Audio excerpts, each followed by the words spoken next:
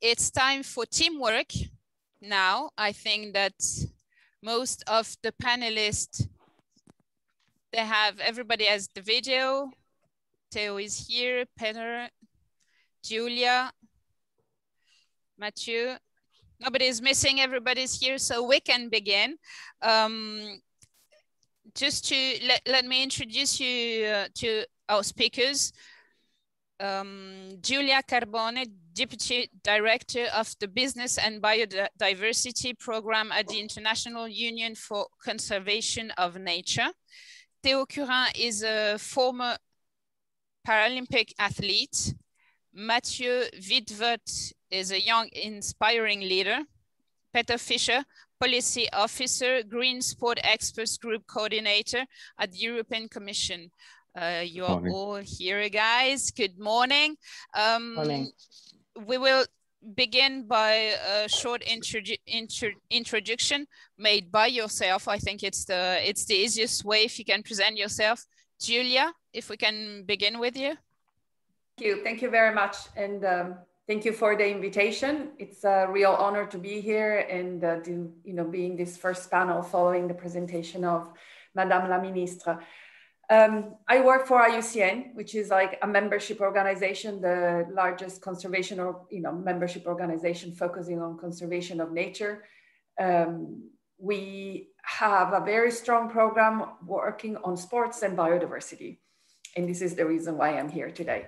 We have started working on this topic following um, an, a conversation and discussions with the International Olympic Committee, and since then we actually have been in a in a partnership with IOC. And uh, the first thing we did was to try to identify what does it mean? What is the connection between sports and uh, biodiversity? And this took, you know, three, four years to collect data, information, guidelines. And, um, and in the next, you know, we are getting really excited, getting ready for a new engagement with IOC, working on the implementation, working with federations and working with Olympic cities. Um, and I think the, the key was at the beginning, there were a lot of questions like, what's the link? You know, why are we talking about biodiversity in sports? You know, is that relevant? Is that topical? And um, it is often the case, things become relevant and, and topical when there is a, um, a crisis. There have been few crises, few pushbacks from especially civil society on a number of large events. Uh, and then that's when I think more generally people understood yes, there is a very strong link, not always positive, um, but it could be much more positive, and we can turn it around and avoid all the potential, you know, negative aspects, and really make it a synergic relationship. Um, so I'm here, you know, just to give my ideas, suggestions on this on this topic, and you know, certainly the the opening by Madame la Ministre is really a, a great um, opening, you know, because it really talks about opportunities, how to strengthen the relationship between ecology and sports, even at the political level, which is critical because these the decision makers are really the ones that define, you know, the a lot of decisions in in a lot of sectors, including sports. Um, so I'll I think that's this is enough for us, as a sufficient as an introduction, and then I'm happy to participate in this, uh, you know, first uh, panel. Let's move to you, Theo. Theo, I don't know if you want to speak French or English. Feel free to speak the language you want. Français, si ça, Alors, si je, vous laisse, je vous laisse vous présenter. Alors bonjour à tous, merci euh, en tout cas pour, pour cette invitation. Je suis vraiment très très heureux d'être parmi vous, c'est juste incroyable. Donc un grand merci. Euh, alors pour me, présenter assez brièvement, moi je m'appelle Théo Curant, j'ai 21 ans. Je pense être le plus jeune aujourd'hui, je ne sais pas. Euh, je ne sais pas s'il y, y, a des gens aussi jeunes que moi, mais en tout cas c'est un honneur. Euh, alors pour la faire courte, moi je suis tombé malade euh, à l'âge de 6 ans suite à une méningite bactérienne, ce qui a provoqué ensuite l'amputation de mes quatre membres. Euh, et euh, durant euh, la rééducation, j'ai découvert quelque chose d'incroyable. J'ai découvert l'eau, la natation, que ce soit à la piscine ou dans l'océan. J'ai découvert cet élément qui me faisait peur dans un premier temps et ensuite un élément qui a totalement changé ma vie. Parce qu'aujourd'hui, quand je vais dans une piscine ou quand je vais me baigner dans, l'océan, bah, j'ai plus de prothèse, j'ai plus de fauteuil et c'est un sentiment de liberté, de légèreté que j'ai pas au quotidien et je trouve ça vraiment incroyable. Et donc j'ai commencé la natation paralympique très tôt, assez jeune, quand j'avais à peu près 8-9 ans à l'âge de 13 ans, j'ai même commencé le, haut niveau parce que je m'entraînais euh, deux fois par jour. Et j'ai eu la chance de, faire des compétitions internationales comme les Jeux paralympiques de Rio euh, en 2016, en étant le plus jeune de la délégation française. J'ai fait d'autres compétitions aussi comme les championnats d'Europe, les championnats du monde. Et euh, alors, il faut savoir que dans le paralympisme, on est classé par catégorie de, de handicap. Et c'est pas toujours hyper juste. Pour vous donner une idée, par exemple, ça faisait deux ans que je nageais contre des mecs qui avaient leurs deux mains. Donc forcément, ils étaient très avantagés par rapport à moi. Donc j'ai décidé de mettre de côté euh, ma petite carrière de nageur paralympique euh, en attendant que ces problèmes de classification soient résolus. Et euh, bah, en fait, plus le temps passe, plus je me rends compte que je suis attiré justement par les euh, milieux euh, dits naturels. Euh, Madame la ministre a justement parlé de la natation en eau libre tout à l'heure et je trouve ce sport juste incroyable. Il n'existe pas encore en, paralympisme, peut-être qu'un jour ça existera, pourquoi pas. Mais moi, je me suis dit, bah, pourquoi pas me lancer mon propre défi un rapport avec l'eau, mais aussi avec l'environnement. Euh, alors, il faut savoir que moi, l'environnement, bah, à part trier dans mon appartement, c'est tout ce que je fais. Donc, je n'ai pas encore suffisamment de connaissances euh, pour, pour, pour, faire la morale à des gens, des, des, choses comme ça. Mais j'ai décidé de me lancer euh, le défi de traverser le lac Titicaca entre le Pérou et la Bolivie dans six mois, en novembre 2021, donc soit 122 km de, de, traversée à la nage en totale autonomie avec deux autres personnes, Maléa Metella, une ancienne nageuse olympique, et Mathieu Bidwood, qui est euh, juste là, euh, dans cette table ronde euh, avec nous. pourquoi j'ai demandé à Mathieu Déjà, bah, parce que c'est, il va se présenter, hein, mais c'est un athlète incroyable qui a déjà fait des défis complètement fous. Et en plus, bah, c'est parce que c'est un éco-aventurier. Il a des connaissances sur le côté environnemental juste incroyables. Et justement, il m'apporte des connaissances que je n'avais pas auparavant sur le côté écologie, euh, écologie circulaire, toutes ces choses-là qui étaient pour moi bah, toute nouvelle. Et euh, aujourd'hui, grâce à lui, grâce à, ses connaissances, et eh ben, je me sens un petit peu moins bête sur ce côté-là. Et du coup, bah, je sens que j'ai un petit peu ma place aujourd'hui de parler avec vous tous. Et c'est vraiment un plaisir. Donc voilà, je vais partir dans moins de six mois avec Mathieu et, Malia euh, traverser le lac navigable le plus haut du monde. Et on a cette envie avec Mathieu et avec toute notre équipe de se lancer un défi personnel euh, sportif, mais en envoyant un énorme message sur le côté écologique, évidemment. Merci beaucoup. Merci, Theo. I just a quick reminder, you can switch language. You have uh, at your disposal translation in French and English. So feel free to, to, choose the language you want. And you obviously, as you can see, you have a translation in the sign language. Um, as Theo was talking about Mathieu, we will move to you, Mathieu. I don't know if you want to speak French or English. I can speak I in guess... English, yeah. Okay, go on. Who are you? I have a so kind of an, of an, idea. yeah, Theo made a, a, a, great introduction, so so that was perfect. Uh, thank you, Theo. You should come every time. Um, that would be great. so basically, um, I love adventures and I love to tell stories. So I use my passion for adventures to tell stories um, and to talk about the green evolution.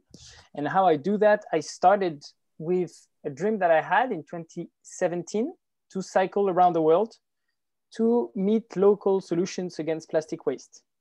So I went off with my cousin and we cycled 18,000 kilometers, mostly in emerging, um, in, in developing countries, to meet local solutions against plastic waste and share them globally um, through a web series, through medias. And it was really a sort of eye opener of the amount of solutions that exist in so many countries. Um, I mean, we cycled all around East Africa. Uh, we crossed India. We crossed. Um, we went in the favela to meet the, the informal sector of waste collection, and it was really striking to see that everywhere there was solutions. So when I came home uh, in France, where I am now, I joined a company which is called Circul'R, and now daily we connect local solutions with global companies to reduce their waste, eco-design their products, and while doing that, it was intellectually very interesting, um, but physically not not so much challenging. So I set up for a new challenge, which was to cross, uh, to swim across the Gibraltar Strait, to talk about the microplastic there is um, in the Mediterranean Sea. then next week, actually, this is very exciting because next week I'm going to to to swim down the River Seine to spotlight and to mimic the journey of a cigarette butt because for 32 years the cigarette butt has been the first uh, plastic waste in the ocean. So how can we make this video uh, visual? We decided to to swim with another uh, three swimmers um, to swim the, the journey of the cigarette butt and on saturday we will try to to get the world's biggest cleanup of cigarette butts collection in paris. Uh, and in November, I'm going with uh, with Theo on this great adventure on which we're doing a lot of things uh, in terms of sustainability. It's actually so much things that it's, it's even hard to communicate on, on one uh, specific, uh, specifically, but uh, I'm very, very happy to be here with you and to share some of my, my thoughts and, and some of the, the issues we've, we've seen with Theo and, and challenges we face. Meta Fischer, it's your turn to introduce yourself. Yes, thank you very much. Uh, very inspiring, uh, Theo and uh, Mathieu. What what you tell us? Um, it's it's it's really about meeting people like you and and finding out uh, what you know how how you can inspire others. Um, that's one of the reasons why I'm in this job. So I, I, work at the European Commission in the sport unit and the Director General for Education, Youth, Culture and Sport. And um, indeed, I am chairing the or coordinating the work of the expert group on green sport.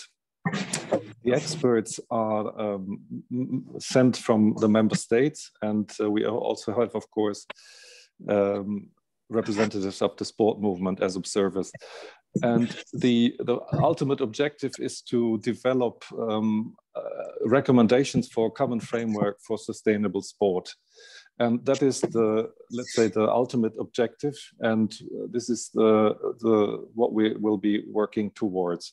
So um, I've joined the, the sport unit in, in February of this year, so I'm relatively new in the field, but I'm a, you know I'm a passionate um, well sport fan and also still practitioner. Uh, I'm I'm uh, almost ashamed to say I'm a cyclist when I hear what Mathieu did, but uh, still, I like to be outdoors. Um, I'm very conscious of um, the impact of, of waste uh, uh outdoors. And maybe I, I, can also share that I've uh, attended several world European championships in football, basketball, and the Olympic Games. And I've seen also um, some progress, but still also some problems with the impact of such major events. So this this should probably suffice for for first round of introduction. I'm really glad to be part of this panel and to also get to meet um, so many uh, interesting experts uh, who are at this conference. Thank you.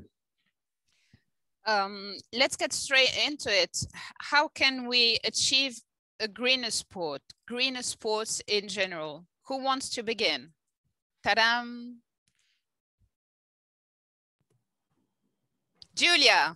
Happy to look at this. Um, well, so this is really the work we have done at IUCN. Um, and it's not to under, underestimate the potential of the positive, but one of the things we said is really important to look also at the potential impacts that sport events and venues can have. So there are two aspects we looked at the, the venue, so the buildings, the facilities, and the events. Um, like, and we treated it as every other sector. Like we work on mining, oil and gas, we look at renewable energy, and we looked at sport with exactly the same lens, saying there are a number of impacts on how sport events and sport venues can have an impact on nature. And so this is through habitat uh, loss, through pollution, through climate change, through invasive species. And we looked at how these categories, that is basically the categories of pressures that have been recognized by the you know, IPBES and all the main assessments apply to sport. And they do apply, all of them. You know, we talked about pollution. So this is, you know, water pollution, waste pollution. We talked about invasive species, which is a big issue for a number of sports. Not all, but a number of sports have an issue of bringing you know, invasive species to, you know, different areas, especially in international events. Habitat loss is a key issue when you have large venues, for example. Uh, mostly, I mean, you could have disturbance for smaller events. So we kind of really structured the analysis like this and then went down with the real you know, understanding of where, what could be the best practices uh, that could be implemented. So I think the overall, the message is that sports needs to be managed and need to sport, you know, the event organizers or the venue developers need to look at their activity just like any other, uh, you know, activity and business that have a potential impact on the environment and being very structured and scientific on the impact assessments and then the mitigation measures. Then the other side of the coin, however, is that sport, like a number of sectors, but not all, but certainly sport, has a huge dependency on nature. That means sport depends on a healthy environment because we talked about it, you know, certain sports happen directly in nature. You don't want, you know, like you don't want to swim in polluted waters. But even without talking to this, going to these extremes of being polluted environment and degraded environment, we have experienced in this past year that psychologically the benefit of being in an environment that is pristine, that there is green, that it helps also psychologically. So this dependency is actually the driver that should bring even more consciousness in addressing the impacts, but also doing positive things because sport, sport venues, but also sport events can be a real trigger for a positive contribution to nature. One of our latest publication was really about urban biodiversity, which is a concept that IUCN is really strongly putting forward with, you know, ICLEI and a number of other city, cities networks, the importance of nature in cities. And I guess we talked about, we were talking about this years ago and this year, I think this became really important. And there we looked at how sport events and sport venues have been a trigger to bring nature in, in cities. And we realized that there are a number of really good examples, but this could be even maximized even, you know, even more if this is done early on with the planning, you know, really already in the planning phase. Um, you know, it's relevant to this conversation, given that we are also hosted, you know, by a French organization one of the good examples that we have highlighted is Paris 2024 and their strategy, especially for the re, um, refurbishment of a whole uh, neighborhood and really using that opportunity to also think about it with nature at the center of you know, the planning. So to me, it's certainly a positive relationship. Uh, it could be even more positive, but uh, it is important not to underestimate the potential threats, especially of large venues and, and big events. But there is knowledge out there. There are a lot of good organizations, and also, also why we say as part of the solutions, there is partnerships, partnership, partnerships with you know uh, scientific organizations, NGOs that have the knowledge, local knowledge, and biodiversity is local and there is certainly a win-win for all and potential synergies. Um, last but not least, but really talking about you know the work that Theo and Mathieu are doing, one of the key issues and uh, let's say opportunities for so sports is to raise awareness first and then education of issues and about the importance of the environment. And so having, you know, events like you're saying, you know, the, the, the, journey of the cigarette butt is amazing. I mean, I think it's such a genius idea. Um, in, during events, during, you know, this is also where, for example, even broadcasters can really play a, uh, an important role. They're there talking, commenting about the event, and then they could spend, you know, 10 minutes saying something about the, the environment that is hosting the event, some information. This will require coordination but i tell you you know people will be people are interested. They are thirsty about good information positive information. And i think nature is a perfect you know source of stories and certainly a fantastic setting for sports. Yeah definitely. So we're going to move to you uh, mathieu maybe we're going to talk a bit more about those those actions. Uh, if, if i if i was to ask you this question how can we achieve greener sport? What would you answer actually, so I don't work so much in the sports industry as the sports sector, but I can yeah, but sport the, practice for everybody. Yeah, yeah, yeah, uh, definitely. But but I think the parallel, which would be interesting, is is to because I've been working with a lot of companies, so I think there is actually a in, very interesting parallel to how brands and companies are shifting and towards how the, the sports can also change and and I've realized there's kind of four steps. So maybe it's synthesizing it uh, very simply, but the first one would be to measure your impact. because when you measure it, you can actually understand it. And that's what also, uh, Julia, you, you were saying. The second one would be to have a strong ambition. And that is something that sports people really have. Actually, it's four steps that, that athletes usually have. Uh, first, they know where they are, where they stand in terms of performance. Then they set themselves a goal, a, a strong ambition. And then the third step would be to, to get training. So when you know where you want to go, how do you get there? You actually get training on the subject. And that's actually something that Theo has been seeing um, because he had the, the, the, strong ambition of I have this défi Titicaca, but how do I get there in terms of sustainability? I need to, to, to have the knowledge. So that would be the third step. And the final one would be to actually implement those actions um, and put them in practice. So basically, I think those steps, we find them in companies that change. We find them in, in uh, sports people that have them originally and and get all those four steps would be, I think, crucial uh, to, to achieve a greener sports in terms of industry. And in terms of athlete or adventurers, we need actually people to step up. To, we need people to speak up and we need people to embrace those issues. Uh, and to embrace those issues, they also need to get, I think, uh, that's my belief, the, the, the sense of urgency of uh, what uh, you were saying, Julia. I mean, the, the environment in which we, we do sports is evolving. And if we don't change, actually, some of the many sports are actually threatened by it. Théo, if you want to add something. Vous voulez ajouter quelque chose, Théo Oui, pourquoi pas. Justement, euh, je suis vraiment d'accord avec ce que dit euh, Mathieu, évidemment. Et même euh, Julia, tout à l'heure, j'ai trouvé ça hyper intéressant. On est vraiment en phase sur sur ça, euh, pour moi, le, sport, c'est un outil euh, incroyable pour euh, beaucoup, beaucoup de choses. Et je pense qu'on peut évidemment aussi l'utiliser pour euh, l'écologie, l'environnement.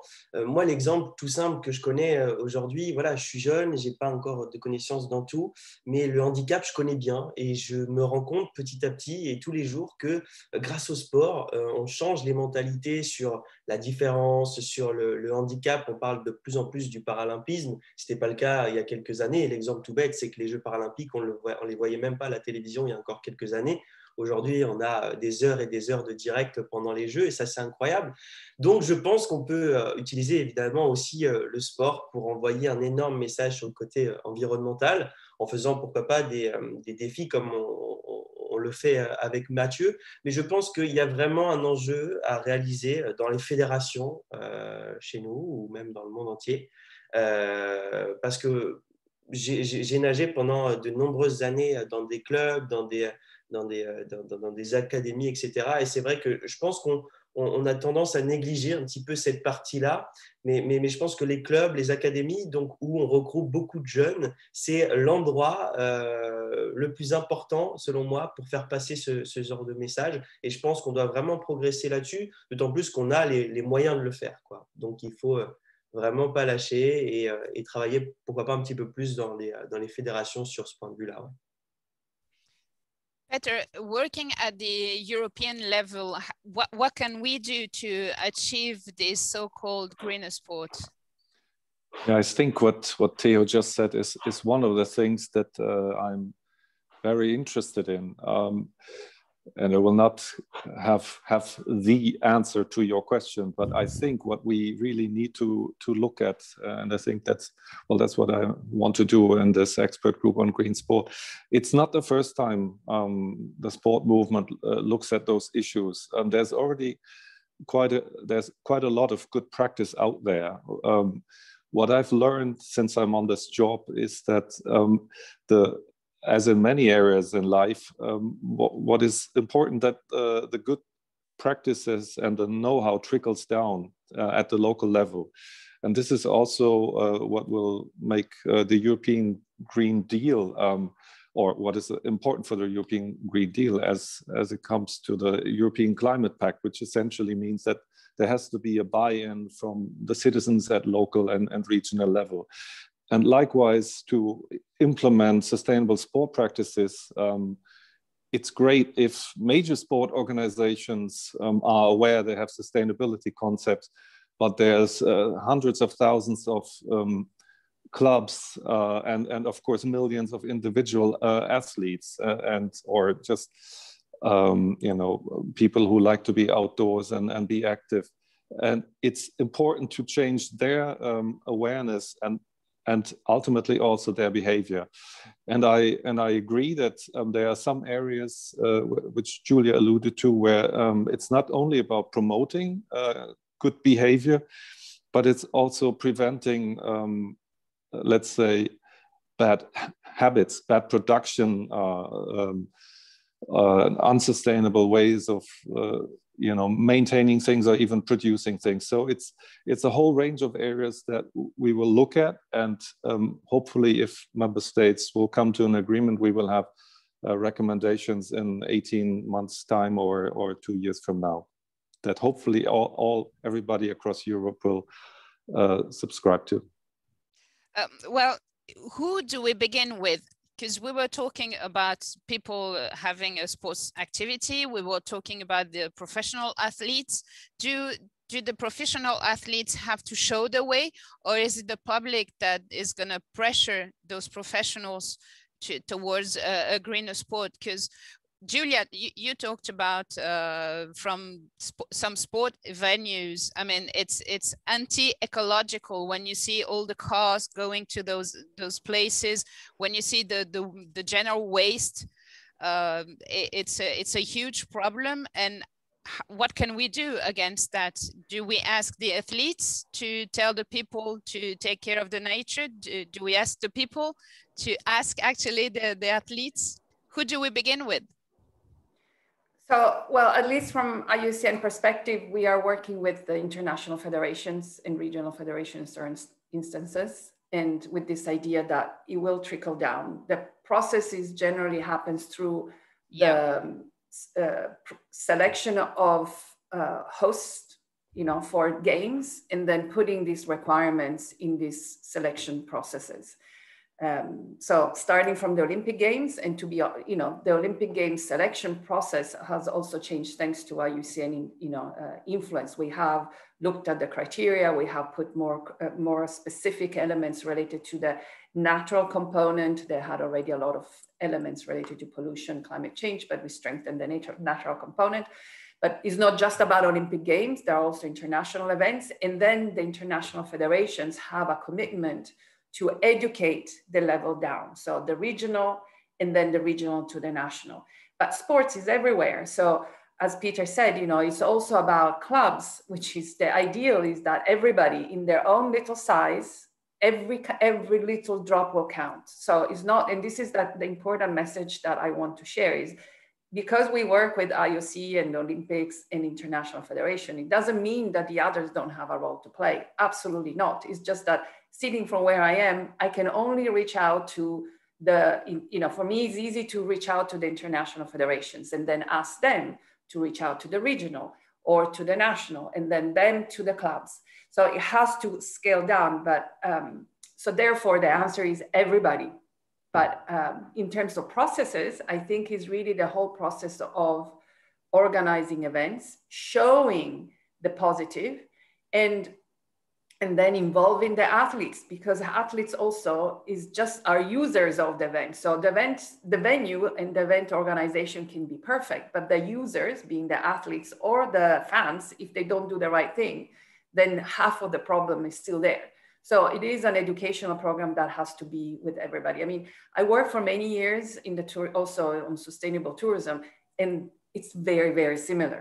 You know you can have a really great program in the hotel but if the tourists themselves don't understand and they're not aware and they don't care a lot of the efforts that a hotel put in place are going to be wasted. So this is what makes it challenging but also a great opportunity to really be inclusive you know and make it a really good you know opportunity for everybody to get something positive out of it. A good learning a feel good also because you come out and you say I have been doing something good, not just enjoying looking at the, you know, watching my football game, but I actually did something good today.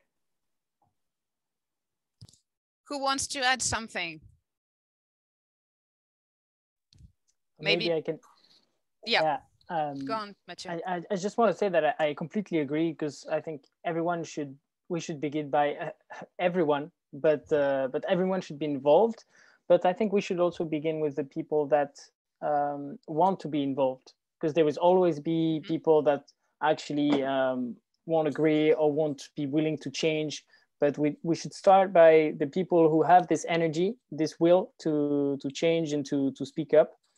Uh, and i think us as athletes or as adventurers we have a special role to play uh, in the message they they can have a, a very big impact on people and people's mindset and the very i think the, the a strong opportunity with sports is that it emotion it captures people's attention and then it's it's very easy to to set, to to to to get a message through. And the message um, should shift from uh, being the one of promoting a product to the one of promoting uh, better behavior or better uh, even questions that people can can ask. And so i think as as athlete and adventure we have a role in what we say to to to help this this team evolve um so that's that's where uh, that's also something that i, I could uh, i could add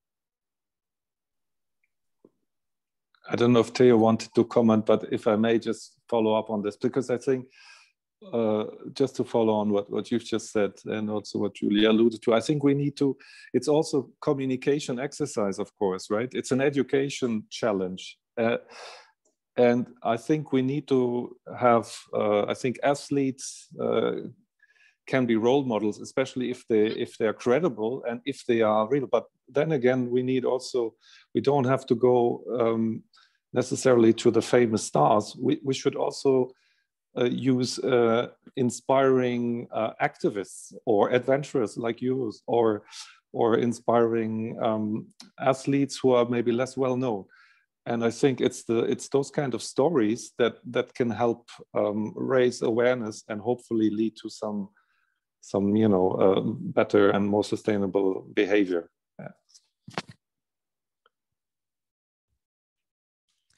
I think we're gonna move to the questions from, I was about to say the questions from the floor, but no floor here. So we move to the questions from the public.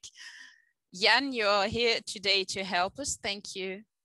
You're very so welcome. You're supposed to ask the questions. Yes, yes. Uh, well, thank, thanks for the questions. Um, we received like four questions. So also I can remind all the panelists that you can access the Q&A and you can actually answer. Uh, I've seen like a question for for Matthieu, so maybe like you will be like a, I don't know, the, the right person to actually answer a question about you. So I don't want to to take the to be your voice, and uh, so feel free to answer the question. You can like create discussions as well. Uh, I think the, the question that we picked is uh, from Eva Walsock. Uh, I hope I hope my pronunciation is not too disastrous, but um, Eva Eva is asking, how can we change our current um, elite sports system to be more in accord with the issues of climate change? That's tough. Yes, and, and she, she quotes she quotes as an example that if we take football in France, the teams are actually flying from one city to the other. Oh, that's terrible. And uh, and that seems like counterintuitive nowadays. Uh, is there someone that want to jump in? yeah, the, the fly from Paris to Lille when it's actually one hour train journey. I don't know if someone wants to go on with that. Well, we haven't really, as IUCN, I mean, we, we, climate change and emissions are also an impact on, on nature. And uh, we haven't specifically talked about climate change, but that's what I'm saying. I think we need to look at sports and um, events the same way with the same critical eye we would look to a business we would you know as a society say to a business you have to cut your emissions and the first thing is avoidance avoid avoid avoid find everything that you can do to uh, cut down your you know your emissions and for example transport you know and then you look at tier one you know scope one scope two and scope three in scope one you know and then you apply this scope to the type of business. And in this case, mm-hmm. we're looking at organizing an event. The, the actual, you know, probably this to me would be scope two, use of transport for bringing in the, and out the athletes. What is the best way to avoid it? Still maintaining the quality of the event, of course. Um, and I'm sure there are a lot of ways to do that. Uh, as you said, you know, using different kind of transports, location of the event, and even before you even get to the discussions of offset And this is where, of course, right now we are all talking about net zero. Uh, we need to get to net zero, but let's not forget that the best way to get to net zero is first avoidance, avoidance, avoidance. So treat like an event, just like a business and think about where can you avoid where you can you know minimize and then calculate what you have to offset. But that is really really the last mile the you know the residual element that you cannot avoid. Um, and i know there are a lot of good you know good approaches out there. Guidelines there's tons that has been done already on climate change recommendations on how to do it. Um, and even borrowing from other sectors such as, as you know for example tourism that has talked a lot about climate. So yeah i don't see the reason why for these kind of things to still happen honestly. And and maybe i, I would like to add on that that um, that's something that we had to go through with Défi Titicaca and Theo uh, we actually yeah definitely it's on the other side of the world so. Yeah so, so that's that's a, a big issue that we had. It's we, we can't have uh, the lake in france so that's impossible. So we actually had to calculate every uh, we did the carbon footprint of all the project. And it's still in the making today so i don't have the final results. But we find out uh, now that some of some of the results show that the plane is actually a small part of it uh, if we think about all the travels that we have, it's one year of preparation for just mm-hmm. uh, one week of, of swimming. So actually doing this calculation is also changing your mentality and, and knowing where the figures are and when you where you can actually have an impact. So for instance, that's why we decided in the building of the raft to build it only from secondhand materials. So that's also a big shift. And so when it's secondhand, we think, okay, if we can't have secondhand, can we have recycled products or can, can we actually borrow some items? What will be the end of life of the, the raft? So it's actually taking that philosophy of the circular economy and ingraining it in the, in the whole aspect of the project. And one thing that was of good help for us, and I think it can be a good help for other athletes, other clubs, other members, was the eco charter of uh, the Ministry of Sports and uh, of the French Minister of Sports and and uh, w, w, and WWF, um, because it, it was kind of a framework in which there is like 15 different engagements, whether it's in um, environment or other themes, social themes. And for us, we it, it was a bit like box to tick. So do we do any action on this? Can we actually be better on this? It was sort of a grid. And this grid was well, really helpful for us, uh, even in, in the way that the things that we want to eat. I know that's a big debate we have with Theo, um, but I understand that. But it's also you know knowing the impact that what of, of what you do uh, can have on the environment, and and Theo is actually it's, it's very helpful for me because um, he's taking in a lot of things, and it, and I'm asking him to change a lot of things. Uh, some of it he's willing to do, some of it not yet but it's also i think the, the right shift is you have to take people where they are at the moment and you can't have a jump uh, too big at the moment. Otherwise you will create frustration and and it won't be positive. So i think there's a very interesting frameworks that already exists and um, and we have to calculate as as you were saying uh, Giulia everything that we do in order to to make the change that are appropriate. But uh, what kind of policies can we implement implement to I don't know, forbid clubs to fly for one hour train journey?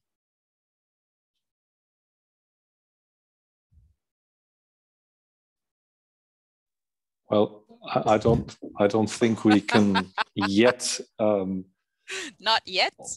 Uh, or we will not. I think at the Commission we will not propose legislation of this sort. Uh, at least not yet. I am not aware, but I mean, there's there's growing pressure, of course. Um, and uh, I, I, know of some some clubs in a in a country that uh, used to be a, a, member of this wonderful European Union, uh, and they uh, famous clubs who who travel. Uh, uh, no longer by plane to to play the matches in the Premier League, and I'm I'm pretty sure that the high-speed train network is not as good as in France. So um, certainly the yeah, it's it's already the case in Italy. Most of the clubs yeah. travel by train yeah and and there are some some examples uh, in germany so i think there there there are a few front runners um, in, in, in this field and um, for the moment i think it's about um, using the you know, the, sh showing the good examples. And I think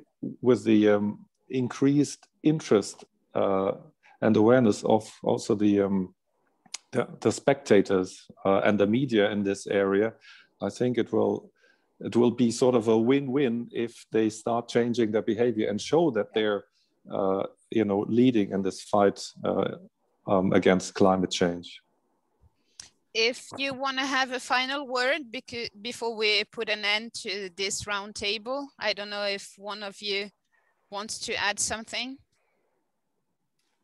Maybe I just want to add that IUCN is actually having um, a Congress in September from the 3rd to the 11th mm-hmm. of September. Um, we are organizing an event on sports. I think there are other, actually there are going to be a number of other events organized on sports and biodiversity the, the Congress was supposed to be two years ago, no, a year and a half ago. At the time, we had an event already organized with the minister, and uh, now we, we, the agenda is still open.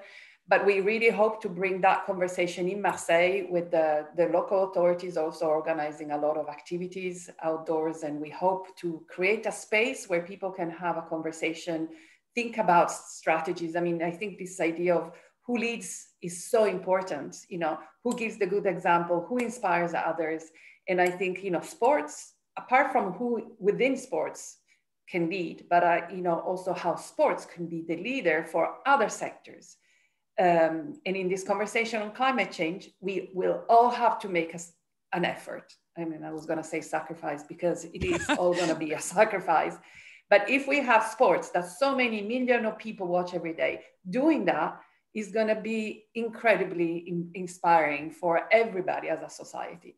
Um, so anyway, IUCN hopes to see you all in Marseille um, and definitely you, and uh, we'll be in touch for, for that. Thank you so much.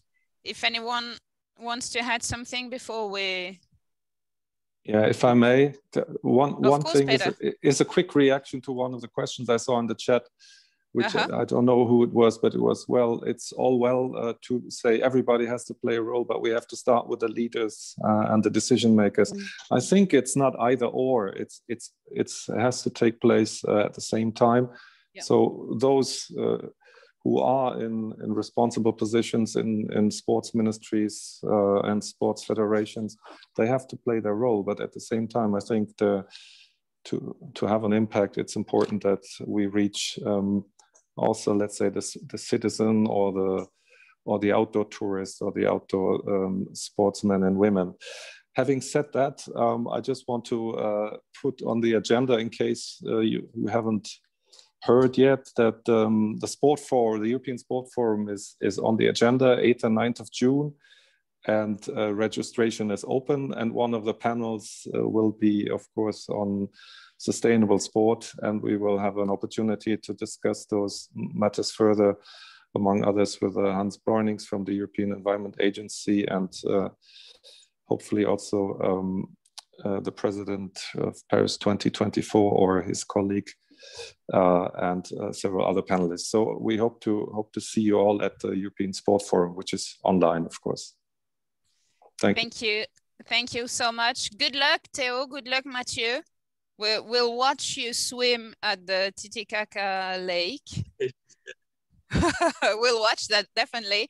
Thank you so much to all of you. you. We're so gonna have a look at the sketches from Mara, the drawing of this conversation. Thank you so much. We're gonna move shortly to the second roundtable. Thank you so much to our panelists and the public. Thank you. Thank you.